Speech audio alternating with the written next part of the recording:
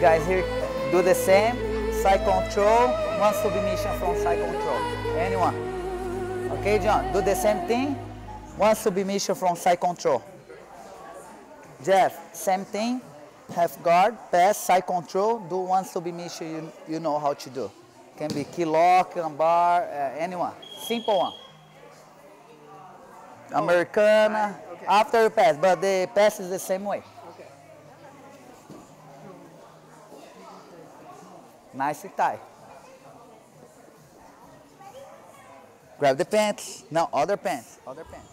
Uh, work hard, but thank God, train hard work. You know, Cobrinha and Alliance system help us grow. We have a system here, and that make everybody's better. That really works. Bend your left leg, Shabu.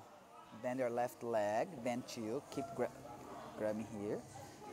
Now come up in that direction, Shabu. Come up, come up. Keep your foot here, Shabu. Now smash her leg, stop there, pit stop, patient. Now go side control. There you go, beautiful. You know, everything's connected. You cannot disconnect your body, your mind, your soul, right? When you're in the right place, in the right environment, uh, of course, you have to have the strong mind. If it's strong mind, you can be a you can be a teacher outside. You can be a just account. If you don't have the strong mind, do your job every single day, do the right way every single day. It's not gonna work. Side control. Yes? Yes. I said, partner, put them in guard, right? Don't put yourself in guard. In your stance, take down, land in, side control, and partner has to recover guard and put him in a triangle. You guys understand? Yes? Let's go. Uh, Stances. I'm telling you, lose is not okay.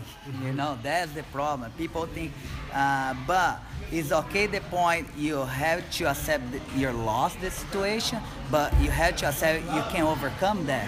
What you cannot do when you lost something, people, oh, it's okay, you lose. No, it's not okay. Maybe you didn't something correct, or maybe that day you didn't eat good. You know, I tell my kids, no, no, you lost. Yeah, you lost. Nothing wrong, with love. But you had to accept the loss. Say, no, no, I did that wrong. I look back what you did wrong for next time you don't anymore. Because if you accept loss all the time, how are you gonna overcome yourself?